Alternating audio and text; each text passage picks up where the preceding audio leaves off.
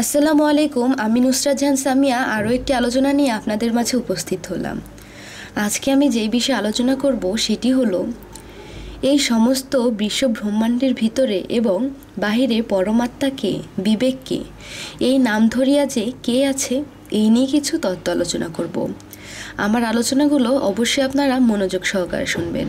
তাহলে আমার কথাগুলো আপনারা অবশ্যই বুঝতে পারবেন। এই সমস্ত বিশ্ব ব্রহ্মাণ্ডের ভিতরে এবং বাহিরে পরমাত্মাটি আসলে কে এবং কি? এই পরমাত্মার মধ্যে আল্লাহ এক ঈসা আলাইসাল্লামের কাছে পরমাত্মা এক এবং ঈসা মহর্ষি এই জগতে প্রেরণ হইলেন, যাহাকে রুহাল্লাহ বলা হয়। পরমাত্মাকেই রুহ বলা হয়। আর পরমাত্মার নাম ধরিবার কারণ আর পরমাত্মার নাম ধরিবার কারণ হইল পরমাত্মাই মহাত্মা এবং মহাত্মাই সকল জীবের প্রাণ, সকল সৃষ্টির প্রাণ হইয়া এবং সমস্ত জীবের মাঝে বিলীন হয়ে আছে। সকল প্রাণীর মাঝে পরমাত্মা বিলীন হয়ে আছে ঠিকই, কিন্তু জাগ্রত না। যদি কোনো মানুষে জীব সাধনা দ্বারা জাগ্রত করতে পারে, তাহলে তার মধ্যে বিবেক জাগ্রত হয়। তখন ওই মানুষটি বিবেকের কথায় চলতে থাকে বা বিবেকের কথায় তার জ্ঞান চালায়। মনে যাহা কয়, তাই করে না। একমাত্র বিবেকের কথায় চলতে থাকে। যিনি বিবেকের কথায় চলল, তিনি রাসুলের কথায় চলল। যিনি মনের কথায় চলল, তিনি ছয় রিপুর কথায় চলল। পরমাত্মা বিবেককে জাগ্রত রাখে এবং বিবেক জ্ঞানকে জাগ্রত রাখে। ছয় রিপু চালায়, তেমনি করে জীবকেও মন চালায়। তেমনি করে দশ ইন্দ্রিয় মনের পক্ষে চলে যায়। তেমনি মন জ্ঞানটাকেও কুপথে চালায়। তখন মন বিবেকের তখন মন বিবেকের কথায় আর চলে না। তখন পরমাত্মা বিবেক নামের রাসুল জাগ্রত করতে থাকে, কিন্তু বিবেকের কথায় মন আর সাড়া দেয় না। পরমাত্মা এবং বিবেক নামের রাসুলকে যখন আর মানছে না, তখনই একজন মুর্শিদ নামের জাহেরি রাসুলের বা জাহেরি রাসুলকে ধরতে হয়। সেই মুর্শিদ নামের জাহেরি রাসুল তখন ওই মানুষকে সাধন দিয়ে শিখাচ্ছেন এবং ওই সাধন দ্বারা বা সাধনা করে করে দশটি ইন্দ্রিয়কে দুর্বল করল এবং সাথে সাথে জীব দেহটাকেও জীব আত্মাটাকেও দুর্বল হয়ে পড়ল। তখন ওই মানুষটা সাধনা থামাইছে না, থামাইতেছে না। তখন দেখা যায় ছয় রিপুর কথায় মন জীবকে নিয়ে আগাইতে থাকে বা মন জীবকে নিয়ে আগাইতে পারছে না। তখনই জীব নিশক্তি এবং দুর্বলের কারণে তখন মনের কথায় আর কাজ করতে পারে না। তখনই ওই মন বিবেকের কথায় চলতে শুরু করতেছে। জীব সহজ সরল পথে চলতেছে। তাহলে আমি যেই বিষয়টি বোঝাইতে চাইলাম সেটি হলো, পরমাত্মার গুণ ক্ষমতার বিষয় ঈসা মহর্ষিকে দিয়ে বোঝানো হয়েছে।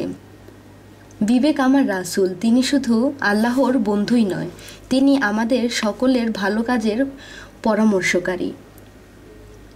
তিনি আমাদেরও বন্ধু এবং বিবেক নামের রাসুল সর্বসময় কাঁদতেছেন বান্দার মুক্তির জন্য।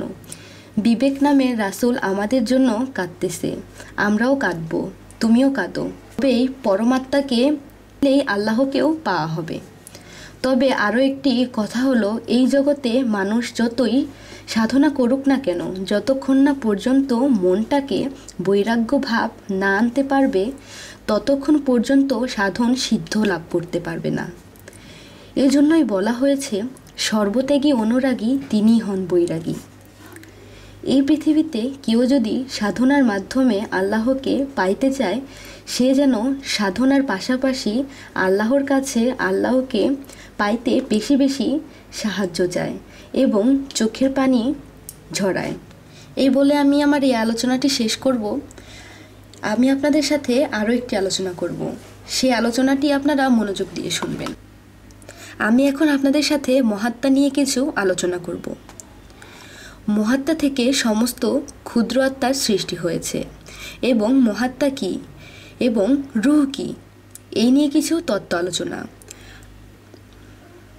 জন্ম আর সৃষ্টি আলাদা বিষয়। তাহলে জন্ম নিলে যেমন মরতে হবে, তেমনি সৃষ্টির, তেমনি সৃষ্টিরও আল্লাহ ধ্বংস করতে পারেন। কিন্তু আত্মার তো কোনো মৃত্যু নাই বা ধ্বংস নেই। মহাত্মার বিষয়টা কি? মহাত্মা নারী ও পুরুষ যিনি স্রষ্টা তিনিই তো। এই মহাত্মার নামে যে স্রষ্টা থাকে,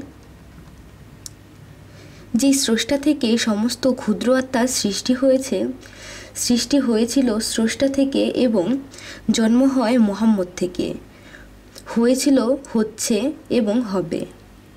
অনন্তকাল হয়েই যাবে। আরও একটু বুঝে নেই আল্লাহ জাত এবং জাত থেকে হয় সৃষ্টি এবং মুহাম্মদ সিফাত এবং সিফাত থেকে হয় জন্ম। যেমন আল্লাহর মরণ নেই, ক্ষয় নেই, ধ্বংস নেই, ঠিক তেমনি করেও মুহাম্মদের কোনো ধ্বংস নেই, মরণ নেই এবং আল্লাহ যদি বলেন আল্লাহ কুল্লে শাইন কদির তাহলে আল্লাহ কুল্লে শাইন মুইত এটা কি? এবার আসি রুহ কি।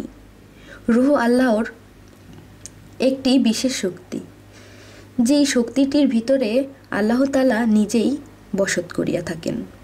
রুহ সকলের, রুহ সকল মানুষের মধ্যে জাগ্রত না এবং সকল প্রাণীর মধ্যেও জাগ্রত না। রুহ একমাত্র সাধন দ্বারা জাগ্রত করে নিতে হবে।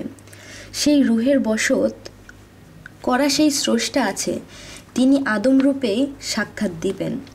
মানবদেহে পঞ্চ আত্মা আছে। এই পঞ্চ আত্মাই পঞ্চরুহু বলিয়া থাকি।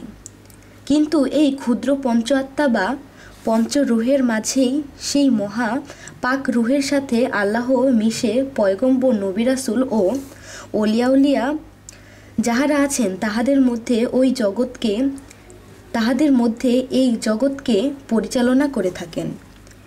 এই রহু নামের যেই বিশেষ পাওয়ার বলা, এই রুহ নামের যেই বিশেষ পাওয়ার বলা হলো এবং তার মধ্যেই আল্লাহ মিশে আছে এবং কোন ধরনের লোকের সাথে মিশে থাকে, যাহাদের মধ্যে গুরু ধরিল এবং প্রেমের আগুনে, সাধন আগুনে পড়ল, নিজ সংসারেও সামাজিক লোকের লাঞ্ছনার আগুনে পুড়িয়ে পুড়িয়ে এবং মানুষদেরকে বুঝাইয়া দিল। এবং শত দুঃখ কষ্ট থাকলেও মুখে সবসময় হাসি রাখে। হাসি রেখে চলে। তিনি তার পঞ্চাত্মা একদিন পরিষ্কার হয়ে পবিত্র হয়ে যায়। তখনই আল্লাহ ওই পাক রুহের বসত করে, দেখা দেয় এবং সুসংবাদ দিয়ে যায়। আবার যখন তখন আসিয়া দেখা করে। আবার যখন তখন সারা জীবন লোক দেখানো ইবাদত করে ওই পাক রুহকে লাভ করা যাবে না। আমরা বলে থাকি, মানুষের সাথে আল্লাহ আছে। ওই কথাটি ঠিক না। আল্লাহ বলেন, মুমিন ব্যক্তির কালবে আমি আল্লাহর সিংহাসন। হে আল্লাহ, আমাদের সকলকে জ্ঞান দান করুন। সঠিক জিনিস বোঝার জন্য। এই বলে আমি রাখছি, সকলেই ভালো থাকবেন এবং আমাদের ভিডিওগুলো যদি আপনাদের ভালো লাগে, অবশ্যই আমাদের চ্যানেলটিকে সাবস্ক্রাইব করবেন এবং আপনাদের যদি কোনো কিছু প্রশ্ন জানার থাকে, অবশ্যই কমেন্ট বক্সে জানাবেন। তো এই বলেই রাখছি, সকলেই ভালো থাকবেন, আল্লাহ হাফিজ।